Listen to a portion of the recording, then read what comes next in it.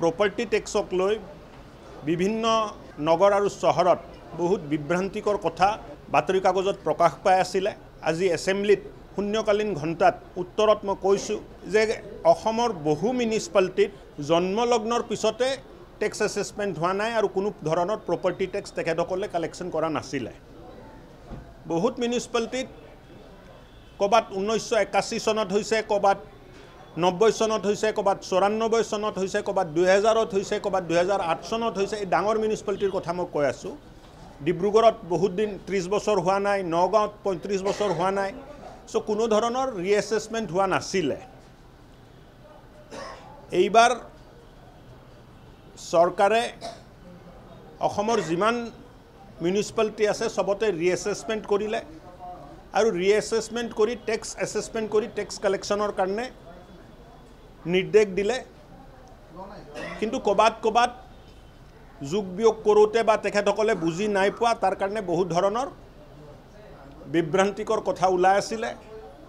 আজি আমি স্পষ্ট কৰি দিলোঁ। আৰু বহু বিধায়কৰ লগতো আলোচনা হ'ল।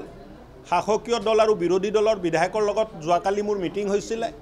আৰু তাত আমি দিয়া প্ৰস্তাৱ যে পঁচিছ শতাংশৰ বেছি আজি যিজন মানুহে এশ টকা দি আছে মিউনিচিপালিটিয়ে বিচাৰিলে এশ পঁচিছ টকালৈ বৃদ্ধি কৰিব পাৰিব। আৰু যদি নিবিচাৰে এক টকাও বৃদ্ধি কৰিলে আমাৰ আপত্তি নাই। এই গোটেই সুকীয়া প্ৰক্ৰিয়াটোত মিউনিচিপাল বৰ্ডৰে এখতিয়াৰ আছে চৰকাৰৰ কোনো এখতিয়াৰ নাই। মিউনি প্ৰপাৰ্টি টেক্স কিমান ল'ব লাগে এইটো সিদ্ধান্ত মিউনিচিপাল বৰ্ডে লয়। তথাপিও আমি কেপিং এটা কৰি দিছোঁ যে এশ টকাৰ জেগাত এশ এক টকাও ল'ব পাৰে। এশ পঁচিছ টকাও ল'ব পাৰে। আৰু ক'ৰবাত ক'ৰবাত মিউনিচিপালিটিয়ে কৈছে যে আমাৰ ইয়াত টেক্স বহুত কম আছে। ধৰক ডিব্ৰুগড়।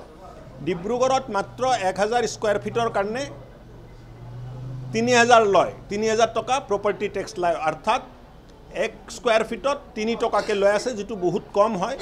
ডিব্ৰুগড় বিধায়কগৰাকীয়েও কৈছে যে আমি অলপ বঢ়াব খুজিছোঁ পঁচিছ শতাংশৰ বেছি।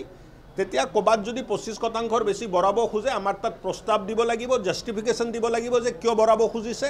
আৰু জাষ্টিফিকেশ্যন যদি স্বীকাৰ্য হয় তেতিয়া মিউনিচিপালিটিয়ে বঢ়াব পাৰিব।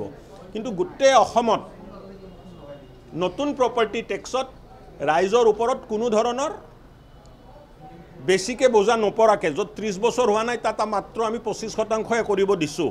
চ' মই ভাবোঁ যে এটা ভাল সিদ্ধান্ত আজি চৰকাৰৰ তৰফৰ পৰা হ'ল। আৰু দ্বিতীয় এটা গুৰুত্বপূৰ্ণ সিদ্ধান্ত হ'ল এই সিদ্ধান্ত হ'ল যে জাবৰ জোঁথৰ কালেকশ্যনৰ কাৰণে সংগ্ৰহ কৰাৰ কাৰণে এতিয়া নতুন টেক্স প্ৰক্ৰিয়া যেতিয়া আৰম্ভ হৈ যাব এক মাহ দুই মাহৰ ভিতৰত দুই মাহ পিছত জাবৰ জোঁথৰ উঠাবৰ কাৰণেও কোনো ধৰণৰ পইচা মান্থলি দিব নালাগে বছৰত এবাৰে যি ল'ব তাৰ জৰিয়তে জাবৰ জোঁথৰ নিষ্পত্তি কৰা আৰু বাকী কাম মিউনিচিপালিটিয়ে কৰা এই প্ৰক্ৰিয়াটো চলিব। লগতে মিউনিচিপালিটিবোৰ আত্মস্বাৱলম্বী হ'ব লাগে আৰ্থিক ৰূপত নিজৰ ভৰিত থিয় হ'ব লাগে এইকাৰণেও টেক্স কালেকশ্যনটো ভালকৈ কৰিব লাগে। বহুত মিউনিচিপালিটিত দেখা যায় যে ত্ৰিছ চল্লিছ পঞ্চাছ শতাংশ মানুহে পইচা দিয়ে বাকীয়ে পইচা নিদিয়ে প্ৰপাৰ্টি টেক্স পে'মেণ্ট নকৰে।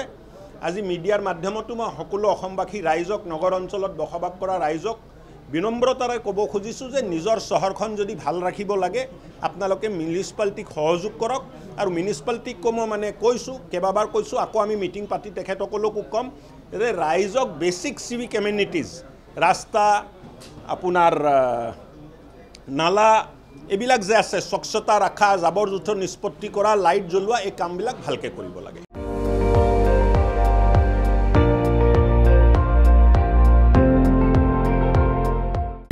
আপুনি চাই আছে এন ডি টুৱেণ্টি ফ'ৰ সৰ্বশ্ৰেষ্ঠ নহয় সৰ্বোত্তমৰ দৌৰত।